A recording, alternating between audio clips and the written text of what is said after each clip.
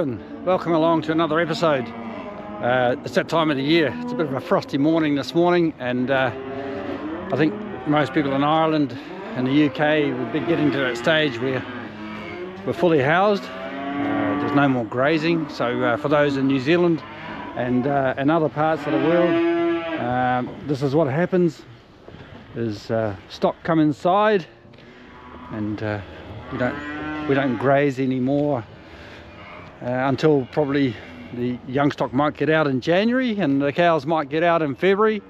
So uh, just on this place, one of my clients' places here, um, already the the uh, in-calf heifers are uh, housed in here, looking pretty phenomenal.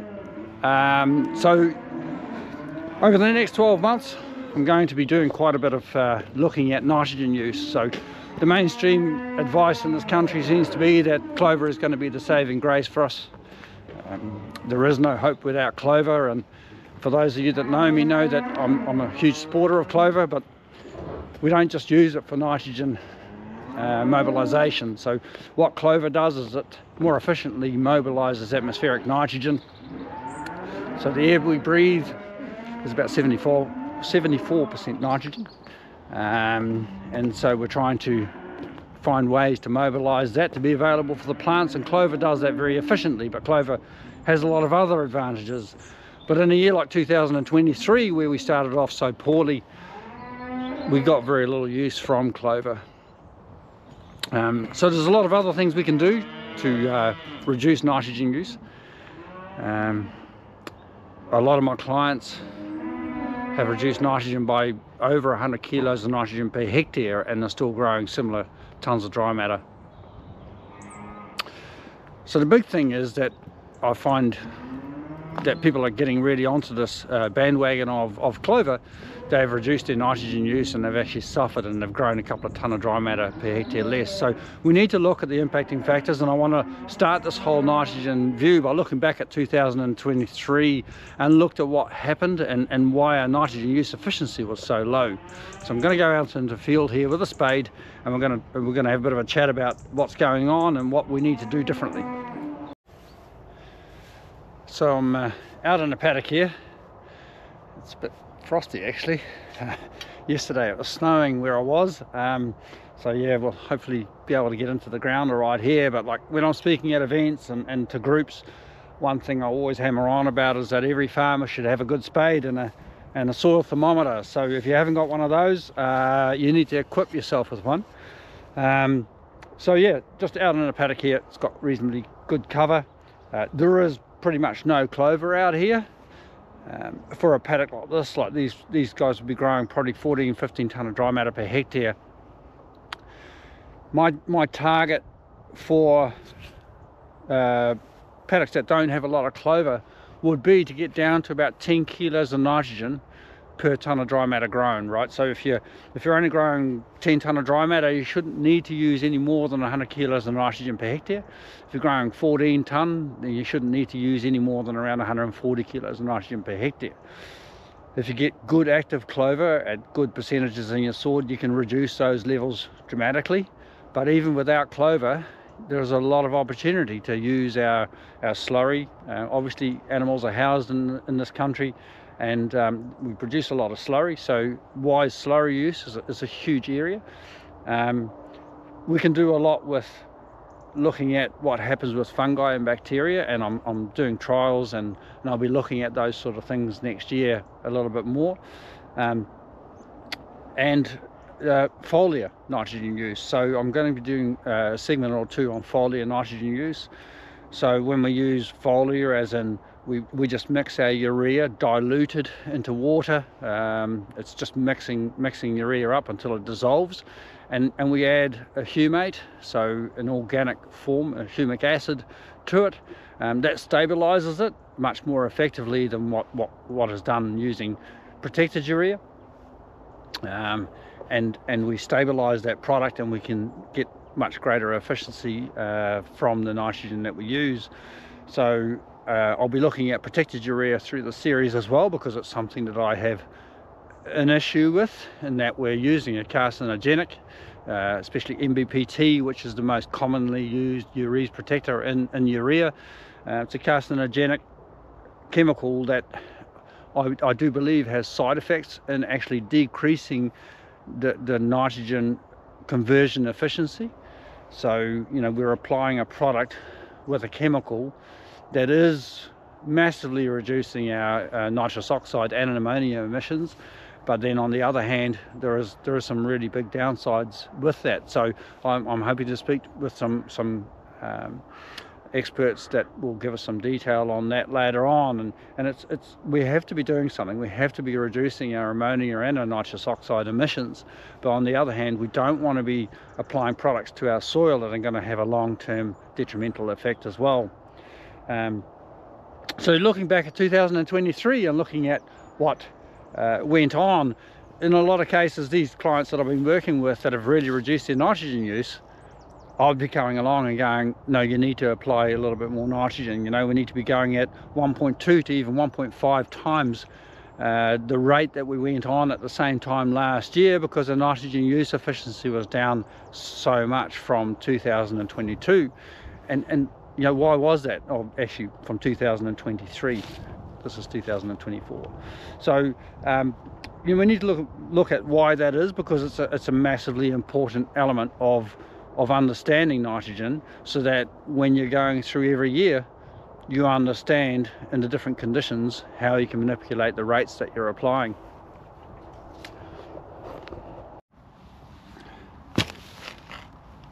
So we're going to dig this hole here so when we dig a hole we're tempted to um, cut four sides. But what I always say is you cut three sides and lift it out right? And then you try and break off the fourth side because without putting the spade through it it allows you to really look at what's happening in the soil profile. So now when we look at this um, this is torn off. And down here it's interesting because we've got lovely crumbly soil and it's all looking looking uh, fairly um, loose. Uh, actually this this soil is not too bad because even the top end is actually looking like we got fairly loose soils. Now the big thing in 2024 was that in a lot of cases when we looked at this top layer it was completely compacted and one of the big things we never talk about is the importance of airing a soil. So gas exchange and an efficient nutrient exchange relies on having good oxygen transition through the soil. So as soon as you expel the air out of the soil you lose that efficiency of nutrient exchange. So what happened in 2024 in that really poor spring is that we tried to get out and get cows to graze um, in fairly marginal at best conditions so when we get cows out in marginal conditions, obviously you're going to be doing a fair bit of compaction. And even if you weren't out grazing, the continuous rain and moisture on the top surface of that soil meant that um, that the soil breaks into little wee particles and settles together and it expels the ability of air to move through the soil. And when I went back to New Zealand in 2020 and bought our own farm and went farming ourselves the big difference we found is that we were working with really aerobic conditions. And that's something really important to understand is that in Ireland and most parts of the UK a lot of the time we're dealing with anaerobic conditions so anaerobic conditions don't allow efficient nutrient exchange and it doesn't allow um, the, the root system to recover as quick as what it would as if there was oxygen in the soil. So the big question is how do we fix that? In 2024 in an ideal world we should have had a bit of a dry spell because in a dry spell you get all that cracking and it introduces air into the soil and it, and it accelerates that that fixing of that that um, that issue but that never happened because basically it just rained all year. Um, and then um, now no this is what we need. Like it's lovely crisp days and frosty mornings. Um, if we get quite a good drier winter with a lot of crispy mornings we'll put ourselves in a way better position again for 2025 where we should start the year with soil in a much better position. So come January I'm going to be looking at um, what we can do for nitrogen application in the spring to um, get greater nitrogen response. And what we do with slurry and what we do with nitrogen rates to ensure that we're minimizing not minimizing optimizing our nitrogen use. Because that's the whole thing you know like I'm not talking about minimizing nitrogen use. If you want to minimize nitrogen use, then just don't apply any. We want to optimize nitrogen use. We want to make sure that we continue to grow high volumes of quality dry matter, but that we're not compromising growth by reducing our nitrogen to, um, to lower levels. A lot of the time what happens, and, and what's happened in the past in Ireland especially, is that we create a complete drug addict in the front end of the year. We're applying way too much nitrogen earlier on. Like when your soil temperatures are still low and your growth rates are really low in February, um, your nitrogen response is, is really poor and it takes a long time for your nitrogen response to come through. So the plant may only be able to mobilize 0.1 to 0.2 kilos of nitrogen per hectare per day. So what that means is that every kilo of nitrogen you apply takes five to 10 days to be used by the plant. So if we go on with, you know, in the past I saw people go on with like 50 kilos of nitrogen, like a, a bag of urea per acre in, in, the, in the old terms. Like 50 kilos of nitrogen that's enough for 500 days in some cases at that kind of mobilization rate. So there's no wonder we had massive losses, all right? So this, this is an area where we, this is low-hanging fruit. This is the area where we can have the greatest impact on our nitrogen use is looking at making sure that we're applying the right rates of nitrogen at the right time to ensure we don't have losses. Like the Teagasc figures at the moment Ireland is running at somewhere around 27 to 28 percent nitrogen use efficiency. I mean that is that is an area that has so much scope to improve. If we're only uh, using 27 to 28 percent of the nitrogen we apply, we're losing the rest either in volatilization emissions or in leaching. So we have to get a hold on reducing that that um, nitrous oxide and ammonia emission and the leaching side of it because uh, for, for one environmentally for two the biggest thing is that you're throwing a lot of money at it and if we can get double the rate of return on that expenditure it just makes complete economic sense. So it's a win-win um, there's a lot to look at. Uh, we need to look at how we're going to get oxygen into the soil in different situations and we need to look at uh, what happens with uh, calcium magnesium ratios and all those sorts of things. So as the series goes on I'll be looking at those things and explaining these things a little bit more but obviously now we're not applying any nitrogen at the moment. So um, it's just looking back. In January I'll be looking at at what happens at that point and especially taking into consideration what's happened through the winter by that time because we don't know what's going to happen and we need to make our decisions a little bit differently depending on the conditions at that time. So I'll hope you follow along um, and uh, and learn a, a few things about what we're doing with our nutrient use. Another indicator of anaerobic conditions is uh, when you're walking through your paddocks and you're looking at the little open spots in the in the ground between the grass and you see a lot of moss. Now moss loves anaerobic conditions. Now often it's also an indicator of low pH. And if there's one area of low-hanging fruit to improve our nitrogen efficiency, it's making sure that your pH is in the right zone. Now everything operates at an optimal zone of 6.4 pH. So, you know, when you when you test plant sap ideally you want it in 6.4 the soil at 6.4 you know everything lives in an optimal zone at that level. So if your pH is sitting below 6 your nitrogen efficiency may be sitting at close to 50 percent of what it could be if you're sitting in an optimal zone for pH. So it's it's a massive area that you need to look at. So the other thing is that when you're applying a lime, it's usually in a calcium lime form. So calcium as a as a as a mineral sort of pushes soil particles apart and allows air to move between the, the pores and it also is kind of the trucker of all the other minerals and that um, calcium is really important in the other nutrient mobility and therefore having having really good pH and having applied your good calcium lime can make a big difference to your nitrogen efficiency. Now I've just come into this other paddock here I'm going to dig another hole because I think this paddock has actually been one of the last ones grazed.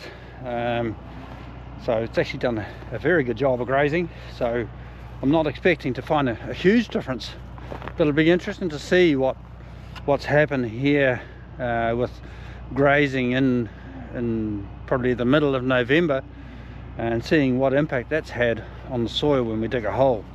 So let's have a look at that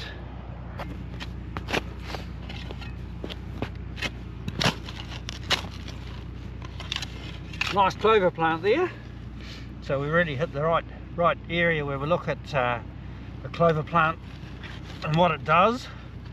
So again we're not going very deep here but still very much uh, the soil is friable enough but you know we could do with a lot more oxygen transition through that because we can see that all the little small soil particles are just settled together in that top end. Now the other thing that clover does, and this is what I'm talking about, all the other benefits of clover, is that it actually pulls the soil into a different structure around the roots which means that you get greater water infiltration when you get high water, um, high rainfall. But it also means that when you go into dry spells, it has more efficient water retention right? So your soil will hold on to more water to be available through dry spells. So clover is a wonderful plant like that that um, it provides a lot of benefits other than just nitrogen mobilization from the atmosphere. Um, overall this farm produces a lot of dry matter uh, because they really mine the soils in the spring. So it's run at a higher stocking level where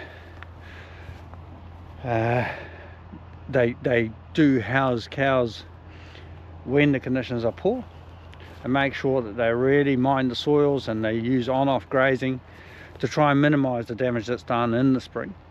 But it, it's it's a soil that allows for a little bit more um, uh, use in the spring than what a lot of other farms do in, in, in Ireland. So look that's the thing. Every every place is different and every place needs different treatment.